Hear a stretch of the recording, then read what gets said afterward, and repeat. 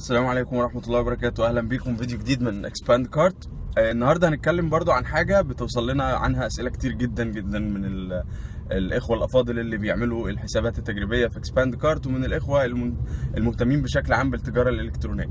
وهو إزاي أظهر في جوجل أو أنا هظهر في موقع جوجل إمتى. آه، وفي البعض بيظن إن هو بمجرد ما بيفتح الموقع بتاعه إنه المفروض يظهر آه، في جوجل. الأول بس نعرف يعني إيه أظهر في آه، جوجل وبرضه معلش هنعرف بشكل أساسي كده أو نأصل إيه هو أصلا موقع جوجل. موقع جوجل هو محرك بحث يعني إيه محرك بحث يعني هو موقع بي بيقوم بعمل database أو قاعدة بيانات ضخمة جدا عن جميع المواقع اللي بتنشأ في أي مكان في العالم وفي أي وقت وبشكل دائم. فده معناه إيه؟ إن موقع جوجل آه، بيبحث بشكل آلي عن جميع المواقع وعن المحتوى اللي موجود فيها بيقراها عن طريق حاجة اسمها robots طيب اللي بيحصل إيه برضه عشان نفهم الفكرة بتاعت جوجل. جوجل إيه هدفه؟ هدفه ان انت لما تيجي تبحث عن شيء يجيب لك نتائج آه، اللي انت عايزها. يعني ده وده إحنا بنلاحظه كتير. إن إحنا لما بنكتب حاجة في جوجل بنوصل اللي إحنا عايزينه بالظبط. ده بيتم إزاي؟ إن جوجل بقى محترف. ال ال ال البرامج اللي بت... اللي طورتها شركة جوجل بقت محترفة. فبقت بتقدر تعرف وتحدد بالظبط إيه هي الحاجة اللي أنت بتدور عليها وتجيبها لك. ده معناه إيه؟ معناها إنها بتبحث في المحتوى بشكل آه، جيد ومفصل. طيب نبسط الموضوع شوية.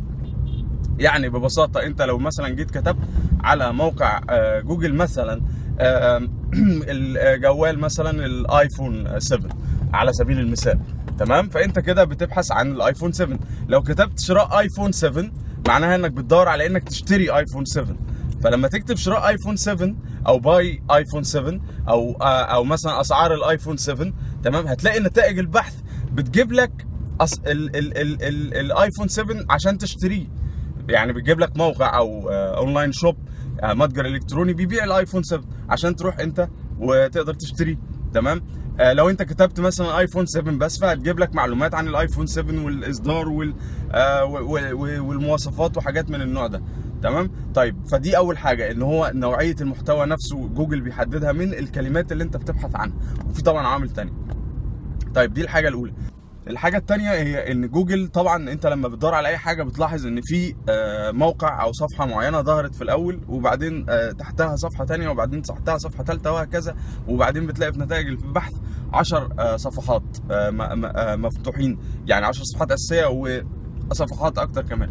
طب الترتيب ده بيجي على أساس إيه؟ على أساس عوامل كتيرة.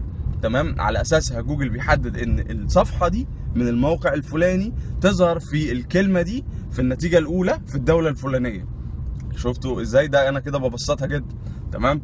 طبعا الموضوع فيه حاجات آه، أكتر من كده. طيب دلوقتي آه، إزاي بقى؟ إيه هي العوامل المهمة؟ العوامل دي كتير جدا لكن إيه هي العوامل الأهم؟ العوامل الأهم هي أول حاجة المحتوى نفسه. بتاعك إنه يكون مكتوب بشكل جيد. يعني أنت كاتب مثلا أنت بتبيع آيفون فأنت كاتب عنوان كويس لل- للمنتج دوت آيفون 7 آه، ومتوضح مثلا إنه في السعودية وموضح الحاجات دي. أنت لو أنت بتبيعه فأنت بتستخدم متجر أو سكريبت بتاع متجر إلكتروني احترافي زي ExpandCart مثلا. عشان كده جوجل بيتعرف على طول على إن ده متجر إلكتروني فهيجيب لك الشخص اللي بيدور يشتري. غير لما تستخدم حاجة مش آه، معمولة بشكل مظبوط فجوجل مش هيتعرف مش هيقدر يتعرف بسهولة على إن ده آه، متجر إلكتروني. آه، فده جزء اللي هو إيه نسميه المحتوى وجودته. تمام؟ وده جزء فيه حاجات تقنية شوية. تمام؟ بس أنت لو بتستخدم مثلا ExpandCart على سبيل المثال فالجزء التقني ده متغطي بشكل كامل يعني. تمام؟ طيب بعد دوت بيجي يشوف جوجل إيه سمعة ال- الصفحة دي. سم سمعة الموقع تمام؟ ودي حاجة بيسموها ال domain authorization عشان ما نعقدش ال- الدنيا دي بي- بيحددها جوجل عن طريق إيه؟ كم الروابط اللي موجودة وبتتكلم اللي عن ال- الموقع بتاعك أو الموقع أو الصفحة دي. يعني أنت مثلا لو في آه، عشر آه، آه، مدون مدونات مذكور فيهم الموقع بتاعك بالرابط بالصفحة دي اللي فيها الآيفون 7 تمام؟ آه، والصفحات دي ليها شعبية نوعا ما في السعودية. دي هتساهم بشكل كبير جدا في إن أنت تظهر في النتيجة الأولى أو النتائج الأولانية في البحث في جوجل. فده عامل تمام؟ العامل الثاني وده العامل ده نقدر نسميه reputation وهو الايه ال backlinks أو ال ال ال اللي بيسموه backlinks أو عدد الروابط اللي موجودة عن لموقعك في مواقع أخرى بس مش أي مواقع. لازم تكون مواقع كويسة. يعني أوعى تشتري لما تلاقي عروض موجودة على مواقع زي خمسات وغيره آه، يقول لك هعمل لك 1000 رابط آه، والحاجات اللي زي كده دي الحاجات دي سيئة جدا. ملهاش أي شيء يعني غلط جدا. جوجل مش آه، جوجل زي ما قلنا البرامج بتاع جوجل بقت ذكية جدا. فانت لو انت أصلا فجأة بقى عندك ما كانش عندك ولا link وفجاه بقى عندك 1000 جوجل هتعرف على طول إن ده مش صح وإن دي مش reputation حقيقية وبالتالي مش هتفيدك خالص في rank بالعكس كمان دلوقتي جوجل ممكن تقلل ال rank بتاعك عشان انت عملت كده. فانت دور على آه، إنك تنشر محتوى جيد عن موقعك في مدونات أخرى وده سهل عن طريق التواصل مع أصحاب المدونات دي مثلا. تمام؟ آه تبعت لهم. وفي مثلا هنلاقي بقى في موقع خمسات خدمات تانية آه كويسة مثلا إنك آه تشتري ان حد عنده موقع أو مدونة وبيعرض إنك إن هو يعمل لك رابط أو إعلان أو أو يكتب عن صفح صفحتك أو موقعك أو كده مقال. فدي طبعا بتكون كويسة جدا لو ال rank بتاع الموقع ده كويس. طيب دي الحاجة الثانية طيب دي الحاجة الثانية الحاجة الثالثه بقى هي إيه ال- ال social media تمام؟ أو مواقع التواصل الاجتماعي. كل ما انت لما يكون عندك موقع اي موقع وحابب تنشره أو متجر إلكتروني وعايزه يظهر بشكل كويس في جوجل اهتم جدا بمواقع التواصل الاجتماعي. يعني تعمل إيه؟ يعني تعمل حسابات وصفحات على كل مواقع التواصل الاجتماعي اللي آه، ليها شعبية في بلدك أو ليها شعبية عند الناس اللي انت بتستهدف إن هم يزوروا موقعك أو متجرك الإلكتروني. وتهتم بالصفحات دي جدا بإنك تنشر فيها بشكل يومي وتنشر فيها محتوى جيد. والمحتوى ده يكون جزء منه كبير مش كله خلي منه جزء كبير بيحتوي على روابط من موقعك.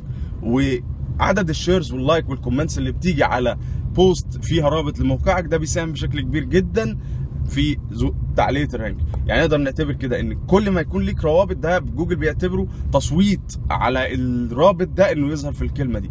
كل ما يكون في shares و likes و comments على آه، post فيها رابط آه، من موقعك كل ما ده بيكون vote أكتر أو تصويت أكتر إن جوجل يظهر الموقع بتاعك آه، في نتيجة أعلى. طيب إحنا كده شرحنا ال- ال- الحاجات الرئيسية. كل اللي إحنا اتكلمنا عنه ده عشان تظهر في الكلمات الدليلية. في حتة برضو نقولها سريعا عشان دي برضو بيجي فيها أسئلة كتير. أنا دلوقتي عملت موقع إلكتروني أو متجر إلكتروني لسه شاري ال domain حالا. هل جوجل ه... لما أنا هاجي أكتب اسم ال domain من غير آه، مش مش ال domain بشكل كامل. يعني هكتب مثلا أنا عملت موقع اسمه آه، متجر آه، متجر مصر مثلا. مثلا يعني تمام؟ فال domain متجر مصر dot com مثلا على سبيل المثال. هل بقى أنا أول ما أشتريت domain وأجي أكتب في جوجل متجر مصر آه، هظهر في جوجل؟ لا مش هتظهر طبعا. جوجل بياخد وقت عشان يعمل indexing يعني يتعرف على ان الموقع ده بقى موجود أصلا. عادة ده بيكون بضع بضع أيام يعني أو ممكن يوصل لأسبوع أو 10 أيام.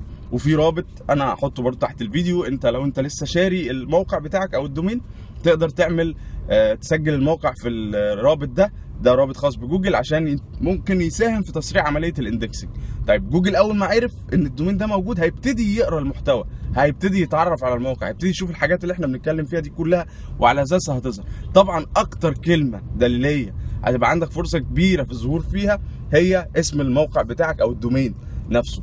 لأن المنافسة فيها بتكون ضعيفة لأن ده اسمك أنت اللي مختاره وده بيبقى اسمك لوحدك أو اسم موقعك لوحدك فدي بيكون فيها يعني دي أول كلمة ه rank معاك. لو أنت اسم الموقع مثلا متجر مصر مثلا فدي أول كلمة هت rank هت- هتظهر بشكل كويس في جوجل وبعدين تبدأ الكلمات الدليلية.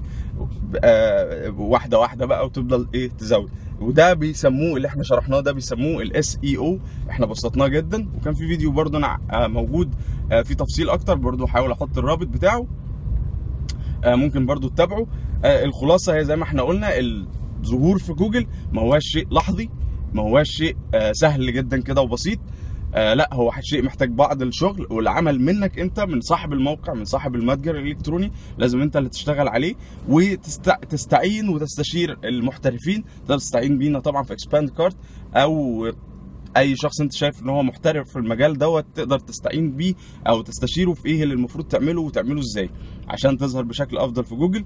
فده جزء ال SEO الحاجة بقى الأخيرة أنا عايز أقولها لما تكون لسه بادئ ما تعتمدش على ال SEO لأنها شيء بياخد وقت هي شيء قوي جدا وفعال جدا بس بياخد وقت. أنت مش هتقدر تعمل rank قوي وتظهر بشكل كبير في جوجل إلا بعد شهور في الغالب. يعني صعب تحصل ده في أيام أو في أسابيع لازم تبقى عارف دوت. أنت أو أي حد إلا لو شركة كبيرة فبيبقى عندها resources كتيرة فتقدر تعمل حاجات كتير جدا. لكن إحنا بنتكلم على ال scale small to medium business الشركات الص- الصغيرة أو المتوسطة أو شخص بيبدأ عمل على الإنترنت مش هتقدر تعمل ده آه، بشكل وقتي. فعشان كده أول ما تبدأ احصل على ال traffic من خلال المواقع التواصل الاجتماعي بالشكل الطبيعي بتاع إن أنت تعمل صفحات تبتدي تكلم كل أصدقائك ومعارفك وتعمل post كويس عشان تحصل على shares والإعلانات الممولة اللي على المواقع التواصل الاجتماعي وخصوصا الفيسبوك. أنا دايما بنصح بالفيسبوك. منصة الإعلانات الخاصة بالفيسبوك بقت رائع أكتر من رائعة. جميع ال- الناس المت- المتخصصة في المجال ده آه، دلوقتي بقت ملاحظة ده وعارفاه وبتستخدمها بشكل قوي جدا. هي تكاد تكون يعني من الأفضل الآن تمام؟ هي و Google AdWords طبعا. فلما نبدأ نبدأ بالإعلانات دي. وعلى فكرة ال traffic أو اللي. الزيارات اللي هتجيلك من الإعلانات دي هتساهم في تحسين آه، ظهورك برضو في جوجل آه، بالشكل الطبيعي. أرجو إن إحنا نكون غطينا الموضوع ده آه، بشكل كويس.